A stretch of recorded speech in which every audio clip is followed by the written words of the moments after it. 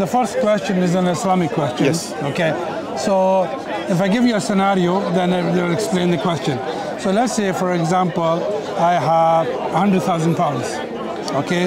And if I was to die today, and let's just to make it simple, I have one son and one daughter, and my wife is not here as well. Okay. So, so the, my son would have two shares, and my daughter would have one share. Yes. Okay. So that's clear. Okay. Yes. So now imagine that rather than that money being there after I have passed away, while I'm alive, if I want to distribute that 100,000 to my son and my daughter, what would be the distribution? Could it be anything or does I still have to apply the inheritance, uh, the inheritance rules? You, know, you follow me? Yeah, Jazakallah khair. Now here, the scholars of Islam, they have, now they said about the hiba, the gift.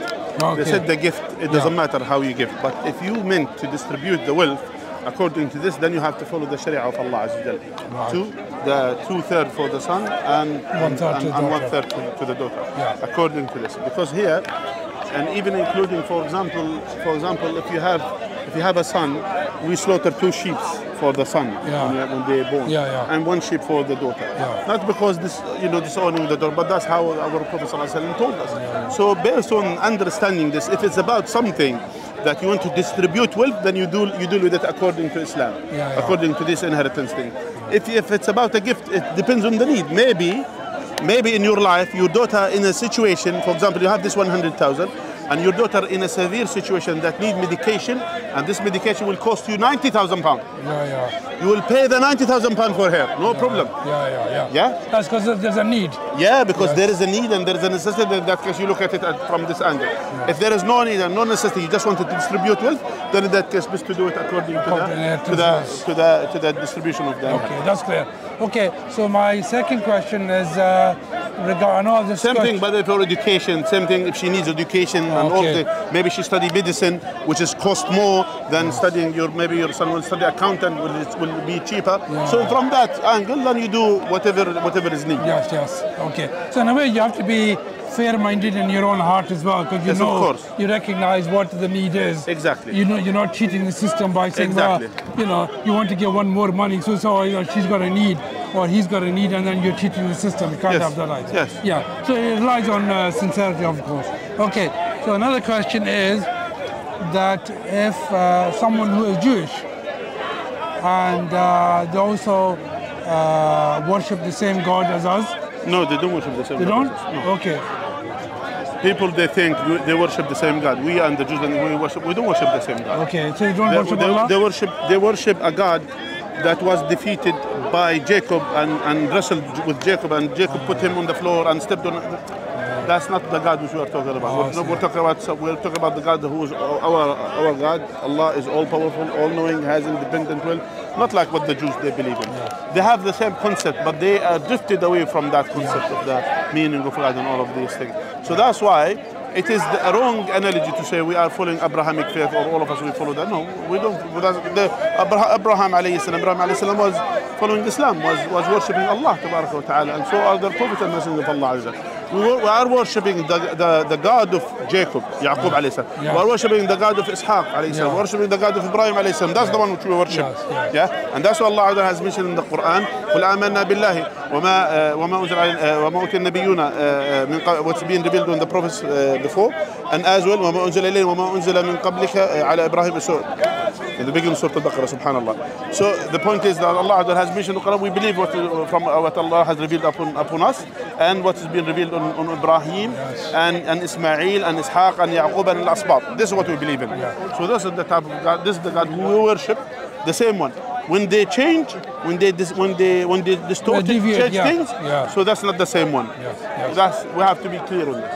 Okay. So my fin- final question is that uh, obviously at uh, Speaker's Corner we have many Christians, Yes. uh, evangelists who come, and which which argument would you say is the most powerful to give to a Christian to convince him that a that Islam is the right religion Yes. and B, that their beliefs is wrong.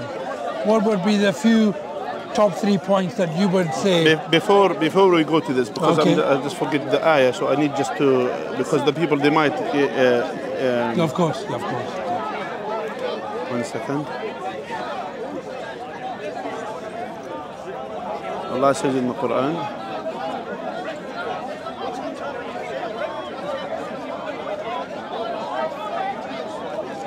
Here. Allah says in the Quran, قولوا آمنا بالله. Say we believe in Allah. وما أنزل إلينا what's been revealed to us. وما أنزل إلى إبراهيم what's been revealed to Ibrahim وإسماعيل وإسحاق ويعقوب والأسباط وما أوتي موسى وعيسى وما أوتي النبيون من ربهم لا نفرق بين أحد منهم ونحن هم مسلمون. That is the ayah which is we be, we believe say we believe in what has been revealed to us and what has been revealed on Ibrahim alayhi salam and Ismail and Ishaq and, and Yaqub, Jacob والأسباط and the descendants.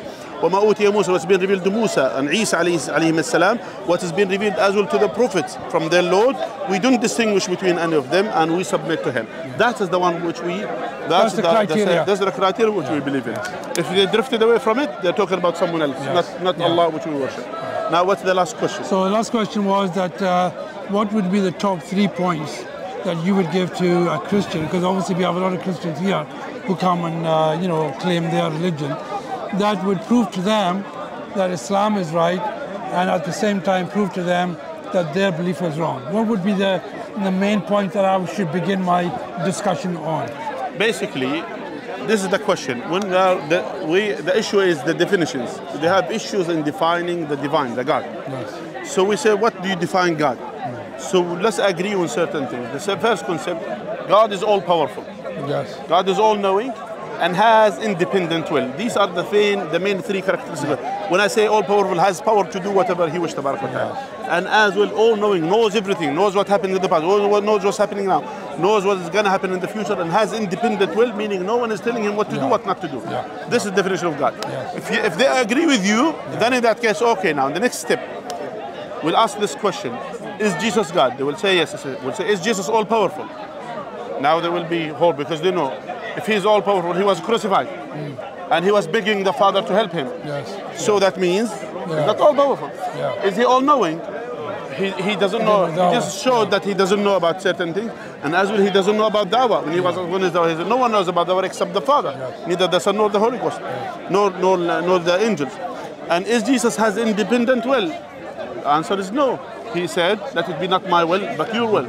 So again he doesn't fulfill the three characteristics of divine so he's not divine he's not god so that's one of the things and as well there are certain things. For example, to say, and this is a simple, a direct example, to say to them, okay, you believe in the four Gospels. They will say yes. What's the first Gospel? You say chapter of John. Okay, fine. Who's John? Yes. No one knows who's John. Yes. Yes. Seriously, no one knows who's John. He's not John the Baptist, definitely not, not John the Baptist. Yeah. And they say he's John the, the disciple. Who's John the disciple? Can't be.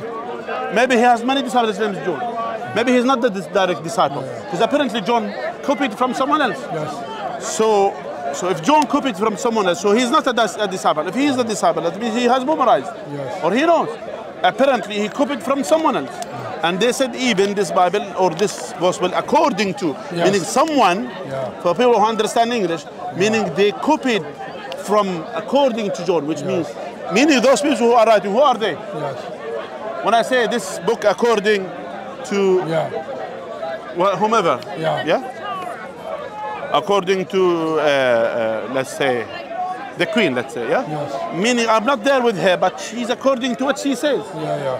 yeah, or such and such king, yeah? meaning that it's apparently that the person who is writing saying according To someone else. to someone else, Yeah. who's John, And who is that? Yeah. and John is not known, so John is ambiguous, yes. and the one who's copying is not known, and we don't know who's who's and which is which. Yes. Yes. So from that understanding, that's uh, how we can rely on a book or on something that has issues from the first place that we don't know who says who, whatever he says.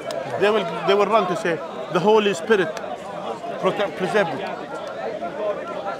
How the Hol- John didn't claim that the Holy Spirit came to him. Yes. Yes. You understand? So all of these things has all of these issues. Yes. If we don't know who is he, how we know the Holy Spirit came to him, Yes. Yes. and so on. And there are many things yani, in, in that. It's actually interesting, Sheikh, that uh, at that time there were actually 79 Gospels. The four Gospels that are in the Bible now are the four that they eventually decided to put in the Bible. But the other 75 they got rid of. Yeah, they got rid of. Yeah. For example, the book of Barnabas. Yeah. Even though they believe Barnabas was disciple, Yeah. they believe Barnabas is Yeah, the only yeah. thing. They Yeah, believe Barnabas yeah. was disciple. Yeah. And they believe as well he was saint, he was holy person, yeah. etc. But they rejected. But they reject his, his, his book. So I don't know what's going on. How can you have a word of God that you accept some part and then reject other part? Yeah, yeah, yeah. It cannot That's- be Allah, right. say, Allah described them. أتؤمنون ببعض الكتاب وتكفرون بعض. Do you believe in some of the scripture and do believe in some of the scripture? yeah. So they mentioned this clearly that they don't believe in everything. Yes. So they, there are certain things they believe in, there are certain things they don't believe in. So the point is, is pick and choose. Yes, They pick yes. and choose. You can't do that. You can't do you can't do this. Yeah, yeah. What do you have other questions? No, no, that's it. That's it. Alhamdulillah. I've learned a lot from, lot from you and from many others. Jazakallah So uh, my number of questions have reduced as a result. Alhamdulillah. Jazakallah. Alhamdulillah. Jazakallah. No problem.